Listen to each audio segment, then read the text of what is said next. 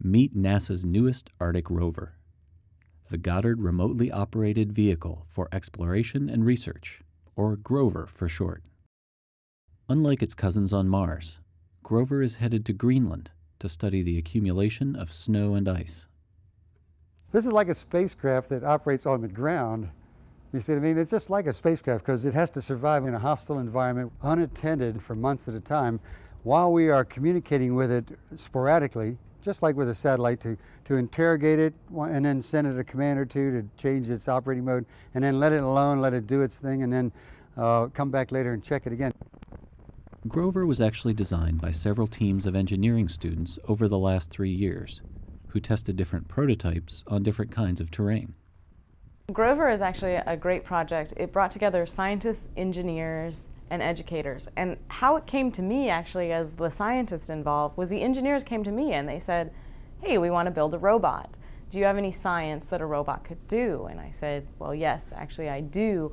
I spend a lot of time studying accumulation on the ice sheets. And how we do that a lot is we drive snowmobiles or we fly aircraft with radars in them. And I said, well, I bet a robot could carry a radar. And I started asking them questions because I didn't know a lot about robotics and they answered my questions, and, and, I, and I gave them um, kind of requirements. Could this robot drive 50 kilometers a day? Could it be autonomous? What sort of terrain could it go over? What sort of winds could it withstand? The result was a six foot tall, 800 pound rover comprised of a ground penetrating radar, large solar panels, rechargeable batteries, a computer, and repurposed snowmobile tracks for locomotion. The hope is that Grover can collect much more data than humans could on the ground.